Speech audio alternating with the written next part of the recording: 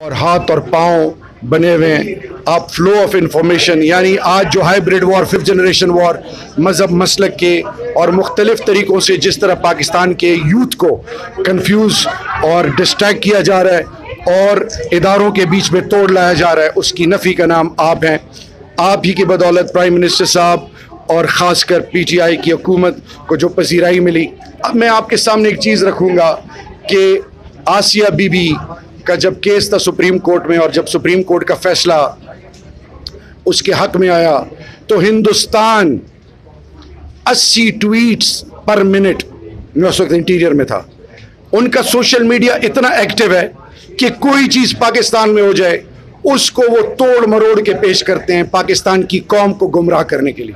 हमारे बहुत सारे लोग अदीस शरीफ बगैर तहकीक के बात आगे बढ़ाना झूठ के जिमरे में आता है। फेक न्यूज़ को आगे पास ऑन करते हैं और उस पर बिलीव करना शुरू करते हैं।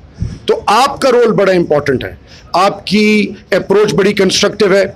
मैं आपको ये प्राइम मिनिस्टर साहब आपको बहुत वैल्यू करते हैं। पाकिस्तान का बच्चा बच्चे पर आपका एहसान है।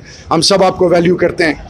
एंड आपसे एक रिक्वेस्ट है कि ये जो आपने अलम उठाया हुआ है, इस पर आपने कॉम्प्रोमाइज़ नहीं करना। रिवॉर्ड अल्लाह देगा। इंसान कुछ नहीं कर सकता। मैं अपनी हम्बल कैपेसिटी में और मैं ये आप ब्रिजिंग रोल किसी हवाले से, कोई ऐसी जहाँ पे मैं आपके साथ किसी हवाले से कुछ रोल प्ले कर सकूँ तो मैं भी हाजिर हूँ। और ये जो आज का इवेंट हुआ है, ये दुनिया के लिए एक मैसेजिंग है। दुनिया डरी हुई है और मेरे जवान अपने इरिस्पेक्टिव के कौन मसीह भाई है, हिंदू है सिख है, किस मसलक का है, किस इलाके का है, किस ज़बान का है, ये एक नई मिसाल आपने कायम की है। और सलाम है प्राइम मिनिस्टर साहब के विजन को।